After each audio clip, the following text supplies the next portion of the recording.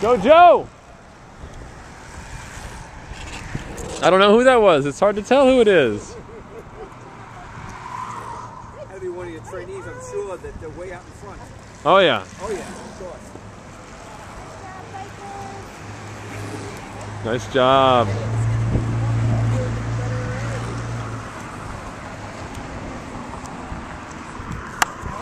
It's Ironman Florida, 2009, start of the bike.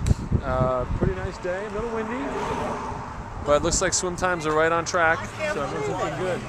Uh, hard to believe it's underway. Excited for everyone out there. Hope they have a great day. See you guys.